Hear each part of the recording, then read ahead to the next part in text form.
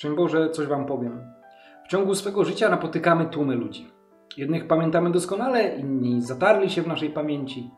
Niektórych e, wspominamy w jakiejś konkretnej sytuacji albo kojarzymy z jakimś ważnym dla nas wydarzeniem.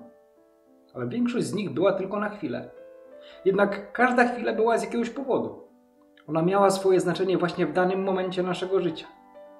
Każdy człowiek, którego spotykaliśmy, był na swój sposób wyjątkowy.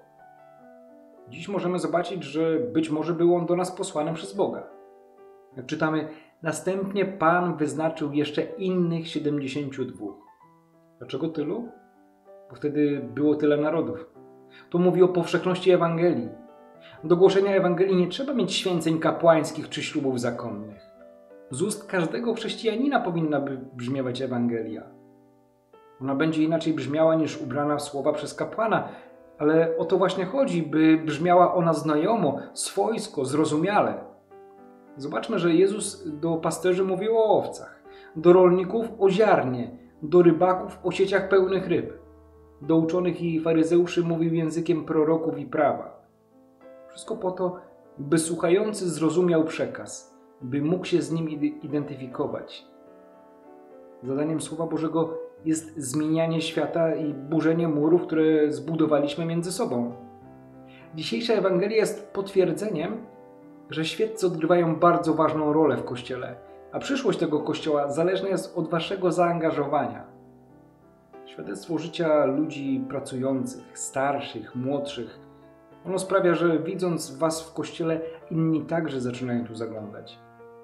Ale jeśli brakuje tego świadectwa własnego życia, to wszelkie wielkie wywody, mądre słowa są psu na budę.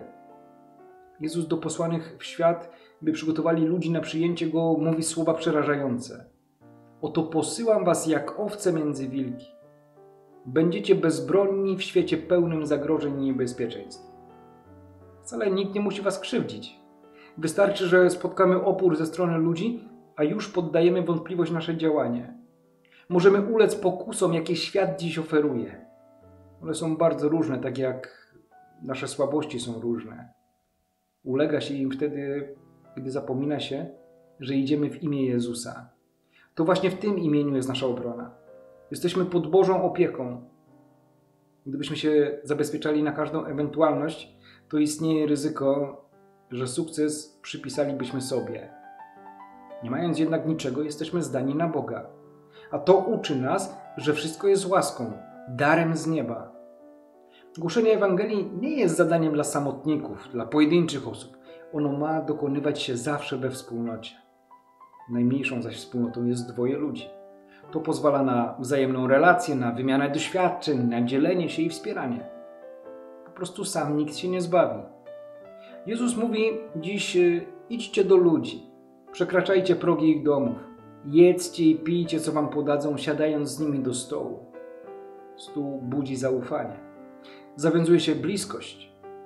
A gdy w Twojej głowie rodzi się pytanie, to dlaczego ksiądz nie pójdzie do nich sam? To powiem, że tu są role podzielone. Ty możesz im dać świadectwo i słowo. Ja mogę im dać sakrament.